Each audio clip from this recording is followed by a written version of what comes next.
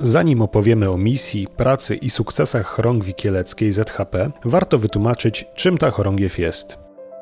Najprościej mówiąc, chorągiew jest częścią struktury Związku Harcerstwa Polskiego, która odpowiada jednemu województwu. Władze chorągwi mają za zadanie dbać o rozwój harcerstwa na swoim terenie. Tworzą też warunki pracy dla chówców, czyli jednostek odpowiadających miastu lub powiatowi. Chorągiew Kielecka obejmuje teren województwa świętokrzyskiego i częściowo śląskiego, małopolskiego, lubelskiego i łódzkiego. W chorągwi działa 15 chówców.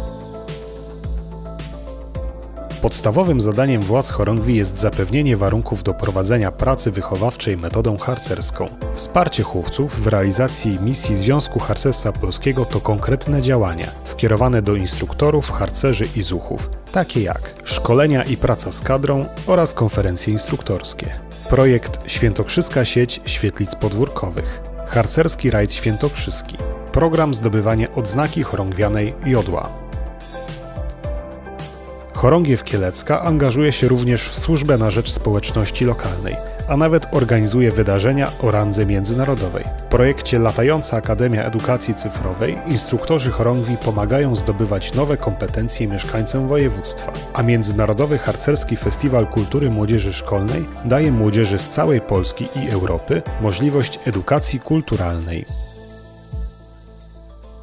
Ostatnie cztery lata były wyjątkowe. Związek Harcerstwa Polskiego obchodził swoje stulecie, a nasza chorągiew aktywnie włączyła się w obchody tego jubileuszu.